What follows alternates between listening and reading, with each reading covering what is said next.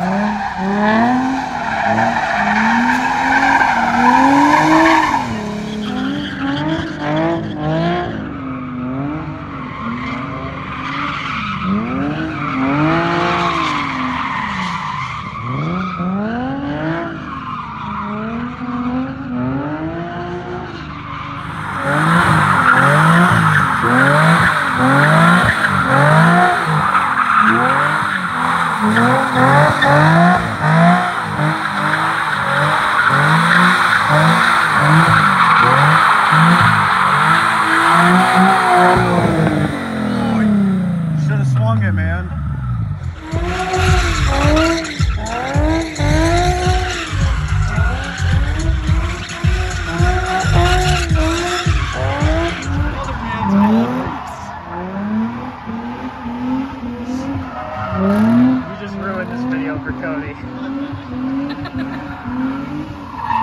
Mm-hmm.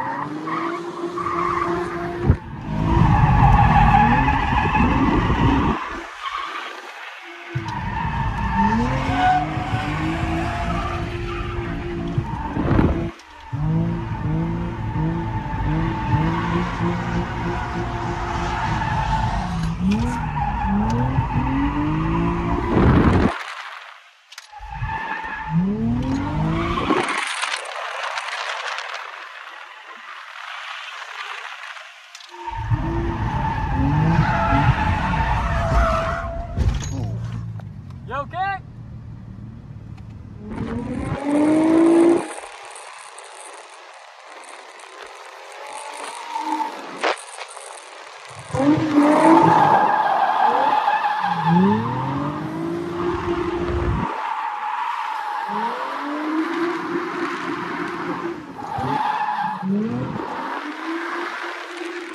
-hmm. you.